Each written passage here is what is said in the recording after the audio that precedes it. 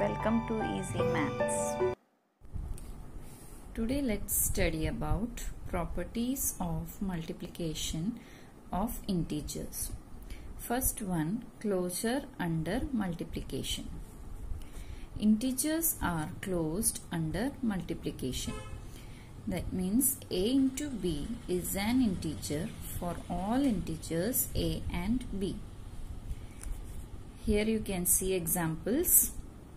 Minus 20 into minus 5 equal to 100. It is an integer. Second property is commutativity of multiplication. Multiplication is commutative for integers. For any integer, two integers a and b, a into b is equal to b into a.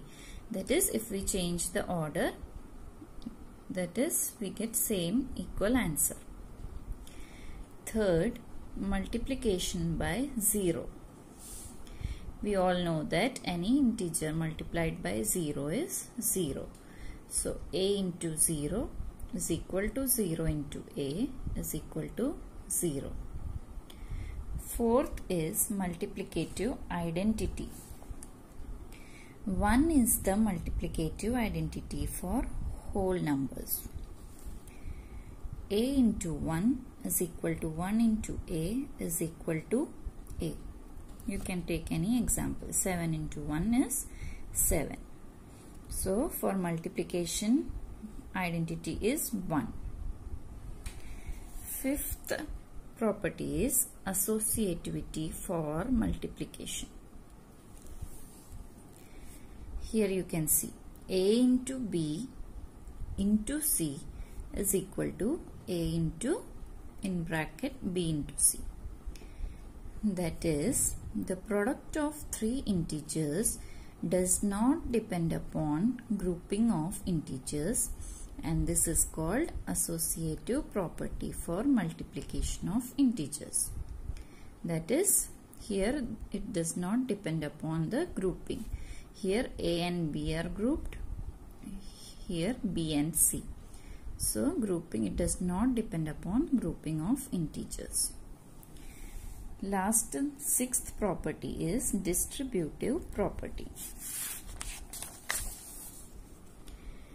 For any integers a, b and c, a into b plus c is equal to a into b plus a into c. This is distributivity of multiplication over addition. Like this, there is property for subtraction also. For any in three integers a, b and c, a into b minus c is equal to a into b minus a into c. This is distributivity of multiplication over subtraction. So these are the six properties. Here I have written first closure under multiplication a into b is an integer for all integers a and b. Then commutativity a into b is equal to b into a. You can write one example also. Multiplication a into 0 equal to 0 into a equal to 0. This here also you can write one example. Fourth multiplicative identity that is 1. Fifth one associativity. In this also you can write one example.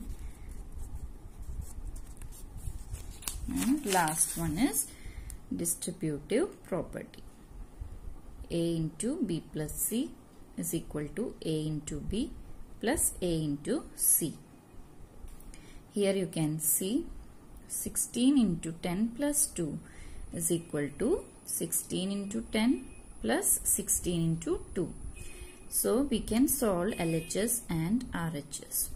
LHS we get 192, RHS also 192. Like that for subtraction a into b minus c is equal to a into b minus a into c. Here I have taken simple example 4 into 3 minus 8 equal to 4 into 3 minus 4 into 8. You can solve LHS and RHS and we get same answer that is minus 20. So these six properties you have to learn. So exercise 1.3 we will start in the next video. Thanks for watching. Please like, share and subscribe my channel.